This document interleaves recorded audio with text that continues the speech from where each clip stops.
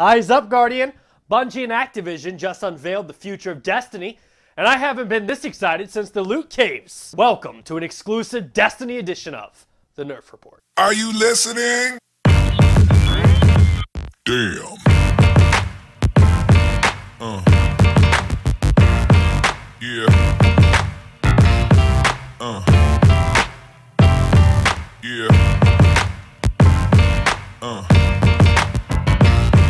Yeah.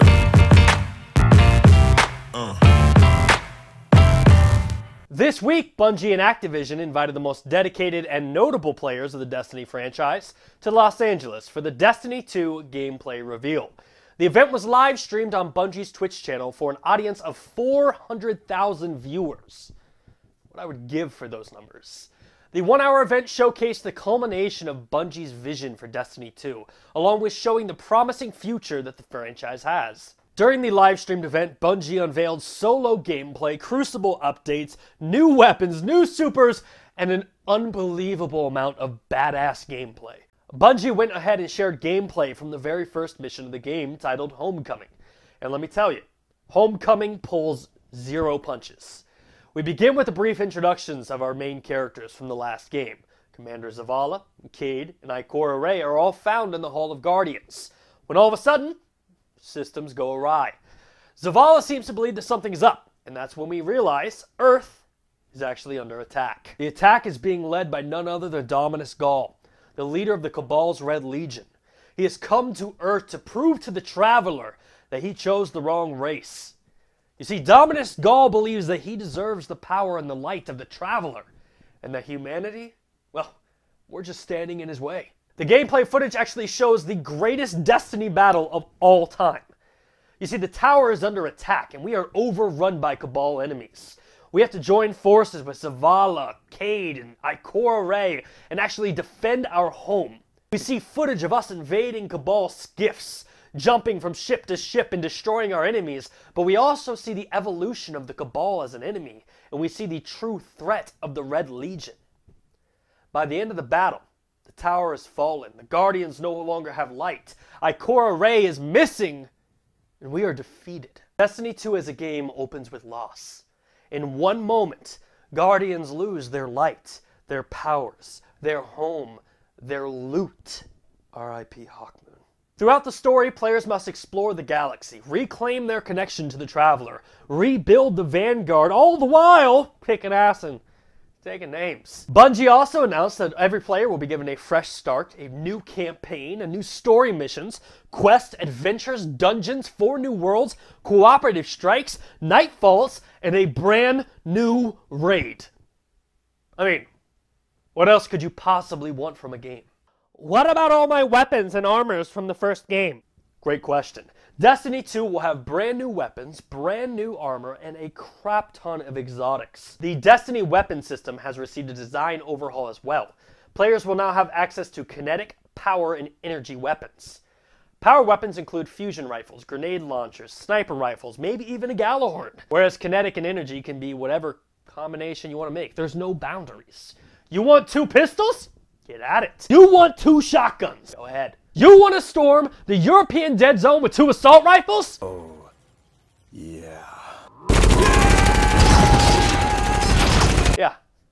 You can do that. Guardian Supers will also be redesigned. Warlocks will have access to the Dawn Blade, which will launch the player into the air with a fiery solar sword, raining hellfire on the enemies below. Titans will summon a Void Shield under the Sentinel class, where they can actually throw their shield and knock the crap out of their enemies. And Hunters are able to summon a mystical staff called the Arcstrider, where they're able to beat the crap out of any member of the Red Legion while, quite frankly, looking like a complete badass. Players will have access to new planets filled with mystery, new characters, and adventure. In fact, Guardians start their journey off in the European Dead Zone. Yes, the map only found in the original game as a PvP Crucible map is now available as a fully playable map. Thank you, Destiny. The European Dead Zone is where humanity has fled to after the attack of the tower, and what Bungie is claiming as the largest playable area that they have ever built. Guardians will also explore Titan, the moon of Saturn. Titan is an oceanic planet with methane seas and 40 meter tall waves.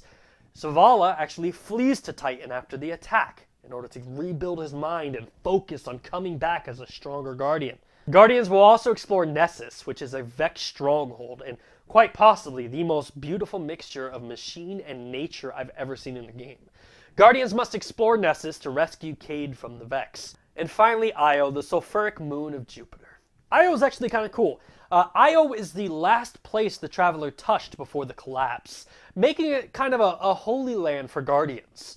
Uh, most importantly, warlocks have actually fled to this place to look for answers and ways to reclaim their light. Players looking for something a little more competitive can rest at ease knowing that the Crucible is coming back. Crucible will now feature 4v4 player combat across all modes. And in a new feature, a player HUD will actually alert players to their opponent's super and ammo. Bungie pulled the curtain back and unveiled a brand new game mode. Countdown, which is an attack and defend mode, is actually the first confirmed PvP match available for Destiny 2. We can only hope that Rift, Control, and Trials is all coming back.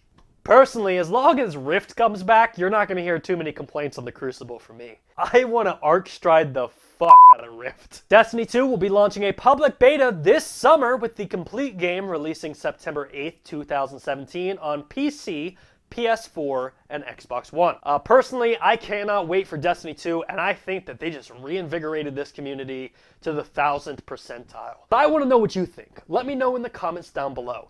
Uh, what did you think at the press conference? Is Destiny 2 way too overhyped? Uh, are they going to let us down again? Are there going to be loot caves? What the crap is a dungeon? What weapons do you hope come back? Uh, are you chomping at the bits to kick Dominus Ghaul right in his face as much as I am? Thank you for watching this special Destiny edition of the Nerf Report. If you're interested in gaming or Destiny related news, make sure to hit our subscribe button up top. It helps the community, but more importantly, share it with your friends. My name is Bryant Chappel. I will see you next time on the Nerf Report. Are you listening? Damn. Oh my god, how can I forget? Shout out to my fellow hunters. Long live the master race. Yeah. Uh.